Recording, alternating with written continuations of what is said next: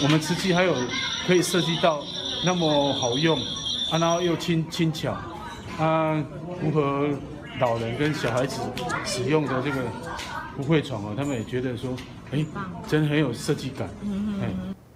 居民表示，昨天在安置中心睡在慈济所送来的福慧床，因为曾经都使用过，所以居民在使用感觉上相当的熟悉、方便又安心。再来看到的是，面对台风威胁，基隆。